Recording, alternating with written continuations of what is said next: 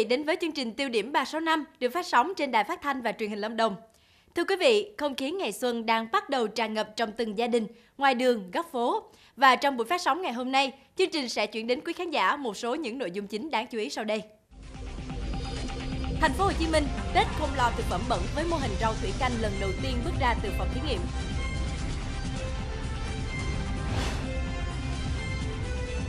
Thừa Thiên Huế đầu tư nguồn giống chất lượng đảm bảo đúng chuẩn bộ xuất khẩu.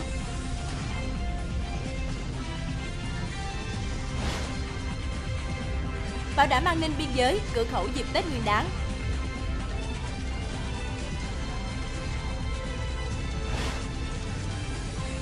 Chuyển đổi cơ cấu cây trồng giúp đồng bào dân tộc thiểu số sản xuất trên đất thoái hóa.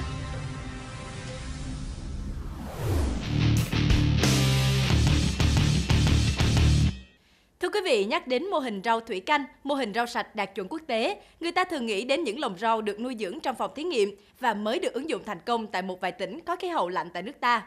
Thế nhưng tại thành phố Hồ Chí Minh, mô hình này đã được hợp tác xã nông nghiệp Xuân Lộc ứng dụng thành công, đặc biệt được nhân rộng trên quy mô lớn, đáp ứng nhu cầu tiêu dùng của người dân.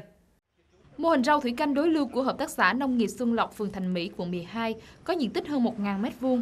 Rau được trồng trong các vỉ lót sơ dừa, hàng ngày được cung cấp chất dinh dưỡng qua hệ thống tưới tiêu hẹn giờ trước, vừa tiết kiệm nước vừa đảm bảo an toàn. Trồng rau theo mô hình này vừa không phun thuốc, vừa không lo sâu bệnh, vì vậy rau ở đây đều đạt tiêu chuẩn Việt gáp.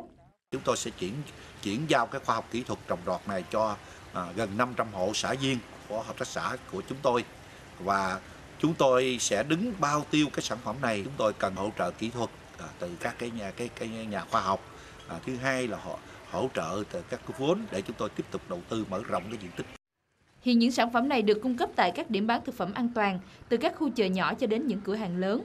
Đặc biệt các chủ cơ sở đều bán theo tiêu chí bán dùm bán hộ, không đề cao lời lãi nên các sản phẩm đều được bán với giá hợp lý. Tôi cùng với một à, ông anh à, đã đi à, làm chuyện trồng rau và khi rau có rồi thì tôi lại mang về đây để phục vụ cho bà con không tính là tiền lợi. Hiện tại, Hợp tác xã Nông nghiệp Xuân Lộc đang đưa vào thử nghiệm 6 loại rau, cho thu hoạch từ 30 đến 45 ngày tùy loại. Sắp tới, hợp tác xã sẽ nhân rộng mô hình với diện tích lớn hơn, giúp cho nhiều người tiêu dùng tiếp cận với thực phẩm sạch. Thưa quý vị, đầu năm 2015, VNPT Thành phố Hồ Chí Minh, đơn vị thành viên tập đoàn VNPT, phối hợp cùng công ty Le Digital triển khai dự án trạm điện thoại thông tin đa năng. Kế hoạch dự kiến ban đầu là đến cuối năm 2016 sẽ có 200 trạm trên khắp địa bàn thành phố. Thế nhưng hiện tại nhiều trạm điện thoại đa năng không phát huy được tác dụng. Wi-Fi tại đây chập chờn, khó sử dụng, bản điện tử thì trắng bóc, không có thông tin gì. Đường dây nóng in trên bản điện tử thì không gọi được. Có trạm thì màn hình cảm ứng không thể hiển thị. Các trạm điện thoại đa năng là nơi cho người dân và du khách tra cứu nhanh các thông tin quan trọng như nhà hàng, khách sạn, địa điểm mua sắm, khu du lịch, bản đồ hướng dẫn đường đi. Ngoài ra, mỗi trạm còn phát wifi miễn phí trong bán kính 100m. Tuy nhiên, khi hỏi nhiều người dân tại các khu vực có lắp đặt trạm điện thoại đa năng, thì người dân hoàn toàn không biết tên gọi cũng như chức năng của trạm là gì. Một số khác cho rằng đó là trạm điện, trụ biến áp và trụ phát Wi-Fi. ở đây thì nói chung ra cái đường nào mình biết thì mình đi tới còn cái đó mình chưa có hiểu là coi như là nó nó nó nó đó là cái, cái tác tác dụng gì mình chưa hiểu nếu mà nhà nước hay là báo chí có thông tin thì mình biết tại thì à, ở xung quanh cái à, trạm thì ờ, chưa có những cái ờ, biển báo hay là chỉ dẫn gì để ờ, sử dụng. Hiện tại thì cần làm thêm những cái biển báo đó để người đi đường có thể nhìn thấy một cách dễ dàng và có thể sử dụng nó một cách hiệu quả. Khu vực tập trung nhiều trạm điện thoại đa năng là quanh nhà thờ Đức Bà, bưu điện thành phố, nhà văn hóa thanh niên, Chủ yếu là các khu vực trung tâm thành phố, số lượng không quá nhiều nên rất khó nhận dạng. Tất cả các trụ đều không có bản hướng dẫn sử dụng. Rác dưới chân trạm, trong các khe đựng trên thân trạm, trạm tại giao lộ Trương Định, Phạm Hồng Thái, màn hình cảm ứng tối đen không hoạt động. Thế kỷ trạm điện thoại đa năng rất có ích cho du khách tìm kiếm các thông tin về thành phố, thế nhưng lại chưa được nhiều người biết đến. Đơn vị lắp đặt cần có hướng dẫn sử dụng cũng như phổ biến rộng rãi hơn nữa để các trạm phát huy tác dụng tránh lãng phí. Một gốc mai với hình dáng giống như bàn tay Phật được một nghệ nhân thu mua từ một tỉnh ở miền Tây đem về thành phố Hồ Chí Minh chăm sóc và nâng niu như báu vật. Gốc mai này có hình dáng gồ ghề, có năm nhánh lớn được cắt tỉa theo đúng năm ngón tay Phật, cùng với lòng bàn tay sâu, tạo nên hình hài một bàn tay đang lật ngửa. Thân cây mai già cỗi, nhiều bộ rễ uốn lượn bao quanh gốc, được nghệ nhân Sáu Thông, chủ vườn mai Minh Thùy ở quận Thủ Đức, thành phố Hồ Chí Minh mua từ miền Tây đem về chăm sóc. Tôi cũng à, theo mua lại của anh em lấy lấy cây cảnh ở dưới cây lẫy cái cây này gốc của cái nhà ông hội đồng rồi hồi xưa trước hồi xưa cũng à, có cái ý là làm lên một cái cái bàn tay à, giống bàn tay Phật. Tôi đem về đây được à, 3 năm. Qua quá trình là cắt nuôi trồng và ghép vào thay đổi cái màu bông ghép cái giảo thủ đức. À, tôi đặt nó là cái bàn tay Phật. Nghệ nhân thông cho biết, qua quá trình cắt nuôi trồng và đuổi màu bông, nó trông giống hình bàn tay Phật. Từ một cây có giá mua lúc đầu khoảng 200 triệu, giờ đây nhiều thương lái tới trả gấp 4 lần. Ông muốn giữ lại cây mai này thêm 2-3 năm nữa để tạo thành một cây mai bằng tay Phật hoàn chỉnh, độc đáo với giá hàng tỷ đồng. Dự án trồng lúa nước rục làng tại xã Thượng Hóa, huyện Minh Hóa do Bộ Chỉ huy Bộ đội Biên phòng tỉnh Quảng Bình thực hiện cho đồng bào rục. Trong những ngày mới triển khai, cán bộ chiến sĩ đồn biên phòng Cà Sen đã trực tiếp cầm tay chỉ việc cho bà con làm. Đến thời điểm này, bà con đã tự trồng được lúa và cây lúa nước đã làm thay đổi cuộc sống của người dân nơi đây.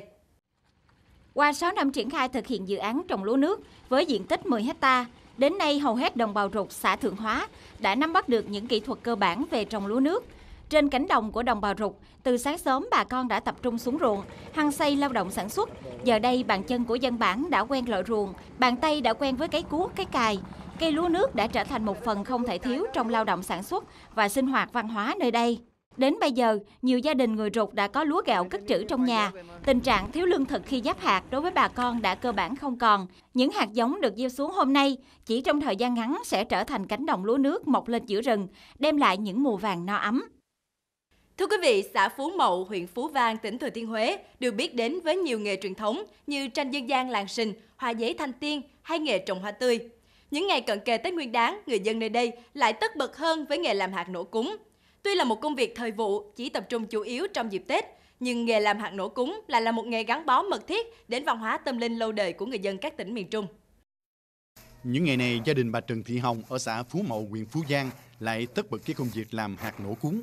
Thời điểm này, gia đình bà làm với số lượng lớn hơn mọi khi để có đủ số lượng hạt nổ cung mướn hàng cho khách, cũng là để có thêm thu nhập để trang trải trong dịp Tết. Thì bình thường thì ờ, mình bán ít mà chưa Tết mình bán nhiều thì bu qua bu về thì cho cả hai vợ chồng vì còn đời con chở. Thì cả khoảng ngay trăm rưỡi hai trăm là hai trăm là cao là, là thật được thần Tết thôi. Chứ con như bình thường lấy cỡ trăm về chứa tới trăm nó rửa thôi cả hai người nữa. Nghề hạt nổ có từ bao giờ không mấy ai biết rõ, chỉ biết là từ rất lâu. Trong các dịp lễ cúng quan trọng của người dân các tỉnh miền Trung đều có hạt nổ. Hiện nay ở tỉnh Thừa Thiên Huế, người làm tập trung ở hai thôn Mậu Tài và Lại Ân của xã Phú Mậu, huyện Phú Giang. Tuy là một công việc nhọc nhằn và thu nhập không cao, nhưng với những người làm công việc này, đây thực sự là một nghề cao quý. Bởi theo họ, nó gắn với một giá trị văn hóa cao đẹp của người Việt Nam, đó là tinh thần hướng về nguồn cội. Thưa quý vị, rừng thế giới cấp chứng chỉ FSC đáp ứng tiêu chuẩn xuất khẩu sang thị trường các nước châu Âu, nâng cao giá trị kinh tế đầu ra của sản phẩm, đang là mục tiêu hướng đến của các địa phương có thế mạnh về rừng. Tại Thừa Thiên Huế, để đảm bảo các tiêu chí từ đầu vào đến đầu ra của một sản phẩm gỗ theo tiêu chuẩn FSC, thì vấn đề đầu tư nguồn giống chất lượng cao, an toàn, bền vững, bảo tồn đa dạng sinh học đang được địa phương này đặc biệt chú trọng. Cho đến nay, Thừa Thiên Huế đã triển khai 4 mô hình rừng thực nghiệm với tổng diện tích 23 hecta. Từ nguồn giống các khu rừng thực nghiệm, Thừa Thiên Huế đã khuyến khích các đơn vị lâm nghiệp đầu tư giống và đến nay đã có 44 nguồn giống được cấp chứng chỉ, bao gồm cây giống hôm, cây giống cấy mô và cây giống từ hạt. So với cây ờ, cây trong đây 3 năm thì ờ, dân là trồng cũng phải 4 năm, nó sinh trưởng ờ, tốt hơn. Những nguồn giống được nuôi cấy từ các cơ sở đã được cấp chứng chỉ, vừa đáp ứng nhu cầu số lượng, chất lượng, tạo sự yên tâm cho các hộ trồng rừng theo chứng chỉ FSC, bởi kháng được sâu bệnh, tỷ lệ sống cao hơn gấp 10 lần so với giống thông thường, đồng thời giúp người trồng rừng hạn chế nguồn giống trôi nổi, kém chất lượng, theo đó giảm chi phí đầu tư. Thừa Thiên Huế đang đẩy mạnh cái quản lý à, và phát triển cái giống công nghệ cao. À, chúng tôi có nhiều cơ sở à, nuôi cấy mô phục vụ cho thị trường trong tỉnh cũng như xuất khẩu. Hiện các cơ sở sản xuất giống cây lâm nghiệp tại Thừa Thiên Huế, ngoài cung cấp đủ cho việc mở rộng 2.000 hecta rừng chứng chỉ FSC trong năm 2017, mà còn đáp ứng cây giống cho các tỉnh lân cận. Bởi những nguồn giống này đáp ứng các tiêu chí theo quy định của Hội đồng Quản lý rừng thế giới.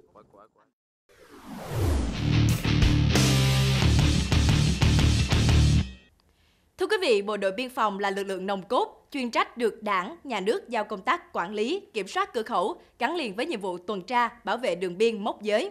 Thời điểm cận Tết, những người lính mang quân hàm xanh đang tập trung phối hợp kiểm soát chặt chẽ hàng hóa, hành lý, hành khách xuất nhập cảnh qua biên giới, cửa khẩu, kịp thời phát hiện, xử lý các hành vi vi phạm, đảm bảo thực hiện nghiêm túc kế hoạch cao điểm đấu tranh chống buôn lậu, gian lận thương mại và hàng giả trước, trong và sau Tết Nguyên đán Đinh Dậu 2017. Đồn biên phòng cửa khẩu quốc tế Thanh Thủy có địa bàn phụ trách năm xã biên giới của huyện Vị Xuyên, là địa bàn trọng điểm chiến lược của tỉnh Hà Giang nói riêng và của đất nước nói chung. Từ khi được chính phủ nâng cấp lên thành cửa khẩu quốc tế, nhiệm vụ đặt ra với đơn vị ngày càng nặng nề hơn, nhất là công tác kiểm tra, kiểm soát, xuất nhập cảnh và đấu tranh phòng chống các loại tội phạm qua lại biên giới dịp Tết Nguyên đán. À, công tác kiểm soát chúng tôi áp dụng à, các loại trang thiết bị và cán bộ của chúng tôi là có những cái kỹ năng cũng được huấn luyện cho nên là kiểm tra kiểm soát làm thủ tục xuất nhập cảnh cho người và phương tiện cho nên là hàng ngày có lưu lượng khoảng trên dưới 1.000 người xuất nhập cảnh và phương tiện thì có khoảng hơn 100 phương tiện chuyên chở hàng hóa qua lại thì chúng tôi làm thủ tục rất nhanh chóng tạo điều kiện cho cái thông thoáng ở cửa khẩu cho cái việc phát triển kinh tế xã hội. Để bảo đảm an toàn tuyệt đối biên giới trước, trong và sau Tết Nguyên đán, trong bối cảnh lưu lượng người, phương tiện hàng hóa qua lại cửa khẩu ngày một tăng, đồn biên phòng cửa khẩu quốc tế Thanh Thủy đã áp dụng đồng bộ nhiều biện pháp và tăng cường huấn luyện nghiệp vụ công tác an ninh cửa khẩu. Qua đó, vừa duy trì tốt được hoạt động xuất nhập cảnh, kiểm tra kiểm soát chặt chẽ, nhưng vẫn tạo điều kiện thông thoáng cho hoạt động xuất nhập khẩu và lưu thông biên giới. Trong à, những cái dịp Tết Nguyên đán thì cái hàng hóa vận chuyển à, à nói chung và hàng hóa qua biên giới là rất là nhiều. À, chúng tôi đã chỉ đạo cho các cái ngành chức năng như biên phòng, hải quan rồi thì À, các cơ quan kiểm dịch để tăng cường cái công tác kiểm tra kiểm soát à, hàng hóa, nhất là cái à, pháo lậu và các cái mặt hàng hóa mà không rõ nguồn gốc hoặc là chất lượng không đảm bảo để nghiêm cấm để không cho thẩm lậu vào trong cái nội địa. Ý thức rõ được tầm quan trọng của nhiệm vụ phát triển kinh tế biên mậu gắn với công tác đối ngoại biên giới, bảo đảm an ninh Tết Đinh Dậu 2017. Đồn biên phòng cửa khẩu quốc tế Thanh Thủy ứng trực 100% quân số, tổ chức trực ban trực chiến và tuần tra canh gác, bám nắm địa bàn, đảm bảo an ninh biên giới cửa khẩu, xứng đáng là điểm sáng trên tuyến biên giới Việt Trung. Thưa quý vị, hiện tại tỉnh Sơn La, tình trạng xe hết niên hạn sử dụng, hết hạn đăng ký, đăng kiểm vẫn ngang nhiên hoạt động, chở người và hàng hóa, tiềm ẩn nguy cơ gây ra mất an toàn giao thông.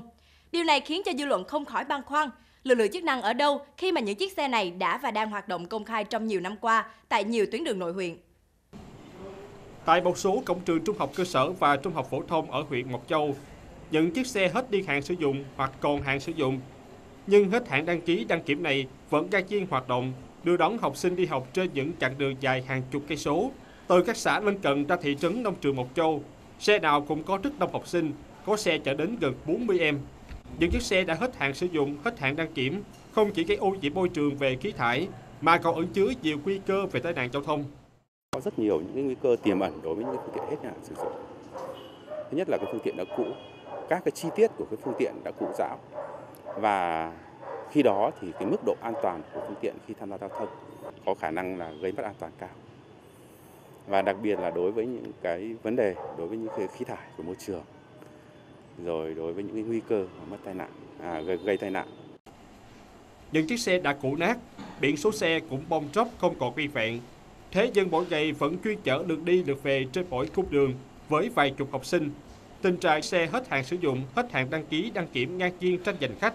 Thậm chí hành hung cả những nhà xe của các công ty xe khách đang làm ăn chân chính đã xảy ra. Trong khi chưa thấy chính quyền địa phương hay lực lượng chức năng nào chịu trách nhiệm trước tình trạng các xe đưa đón học sinh đã hết hạn đăng ký đăng kiểm, hết hạn sử dụng vẫn ngang chi hoạt động, thì hàng ngày hàng trăm học sinh vẫn đang gửi gắm tính mạng của mình trên những chiếc xe đầy rủi ro như thế này để đến trường.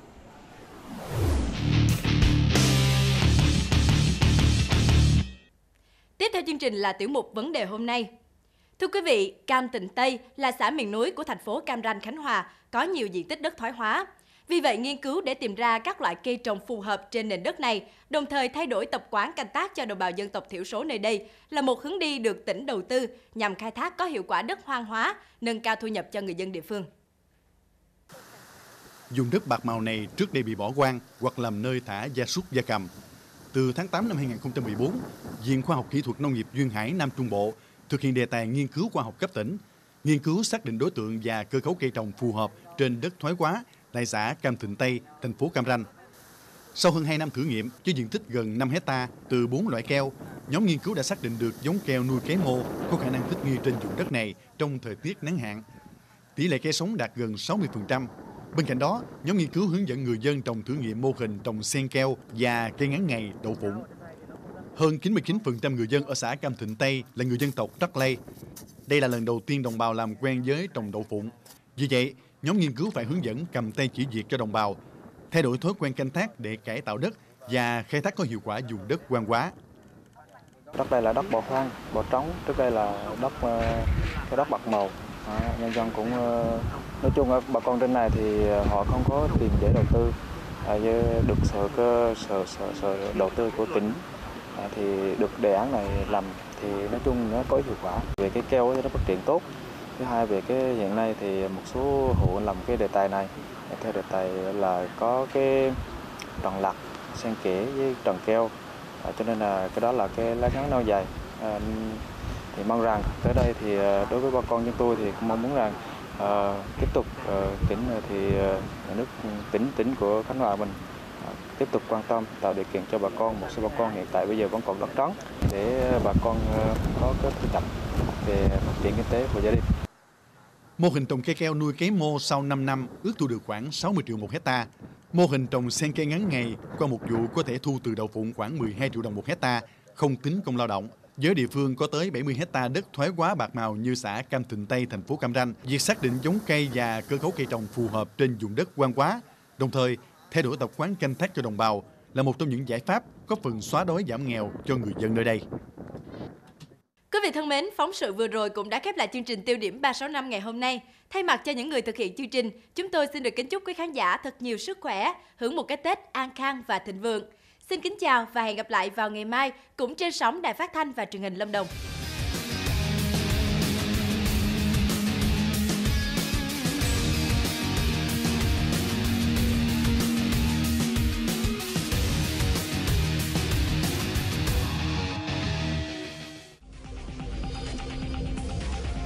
Náo nức không khí đón Tết cổ truyền ở đảo Trường Sa.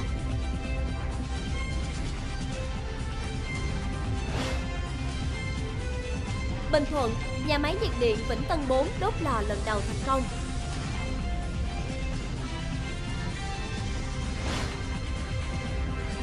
Nóng, hoạt động tội phạm trên biển dịp cận Tết.